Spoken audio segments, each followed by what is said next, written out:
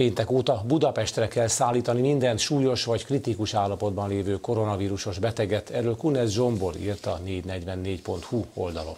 Az egészségügyi szakértő híradónknak azt mondta, a mentők túlterhelése akár más betegeket hozhat nehéz helyzetbe. Karácsony Gergely hozzátette, szakmailag nem látja indokolhatónak a döntést.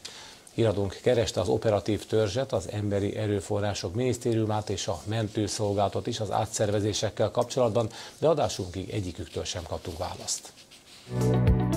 Hetek alatt húzták fel ezt a konténerkórházat Kiskunhalason, kifejezetten a koronavírusos betegek ellátására hozták létre.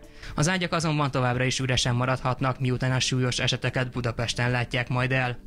Május 8-tól ugyanis új rendelkezés lépett életbe. A középsúlyos és kritikus állapotú koronavírus fertőzötteket ezentúl a László Kórház, valamint a Korányi Pulmonológiai Intézet látja el feltéve ha a páciensek szállítható állapotban vannak. Az egészségügyi szakértő szerint az egyébként is terhelt mentőszolgálat még nagyobb terhelés kaphat ezzel a lépéssel. Ez azt jelenti, hogy olyan kapacitásokat vonunk el, amit nem, nem fog tudni máshogy, vagy máshonnan pótolni a mentőszolgálat. Tehát megint csak azok a betegek fognak hátrányba kerülni, akik egyébként más betegségükkel mentőre várnak, és más, más betegségükkel mentőellátást igényelnének. Közben az ellenzéki pártok is reagáltak az átszervezésre.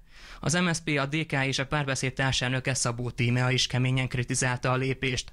Karácsony Gergely főpolgármester is értetlenül áll a döntés előtt. Szakmailag nem nagyon látom ezt indokolhatónak tekintettel arra, hogy az ország számos pontján működnek járványkórházak.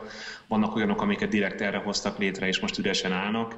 Nem gondolom azt, hogy súlyos betegeknek jó lenne az, hogyha mondjuk eh, nem tudom, Záhonyból vagy éppen Sopronból Budapestre kéne őket szállítani. Mindeközben a tárki friss kutatása rámutat. A lakosság nagyjából egy tizedénél maradhatott el szükséges orvosi beavatkozás a kötelező ágyfelszabadítások miatt. A közép-dunántúli válaszadók az országos átlagnál is rosszabbul érzékelték saját helyzetüket. Kunas Zsomborit hozzátette, nincsenek pontos adatai, de szerinte is sokan kerültek hátrányba az említett lépés miatt. Ezzel kapcsolatban Kásler Miklós a Magyar Nemzetnek adott interjúban megjegyezte. A kormány álláspontja az volt, hogy a várható legrosszabb forgatókönyvre kell felkészülnie az egészségügynek.